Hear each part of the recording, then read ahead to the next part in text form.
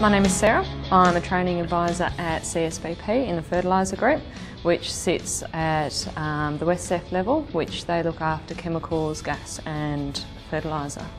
The opportunities I've had at WesCEF um, have been numerous. I started seven odd years ago in customer service and in that time I've had about five jobs. I have lost track.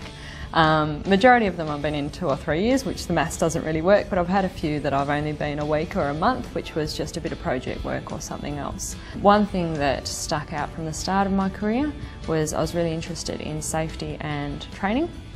And when I was in a field engineering role, which was working with contractors and such, I had an opportunity to do my Cert 4 in training and assessing. Now, that was nothing to do with the role that I was doing, but they gave me that opportunity simply because I was interested in it. Um, I'm now a training advisor and loving what I do, so um, it sort of developed from there. The support from my manager, um, I've had, as I mentioned before, five odd managers in my time, and of all those managers, they've really listened um, and helped me develop in my career.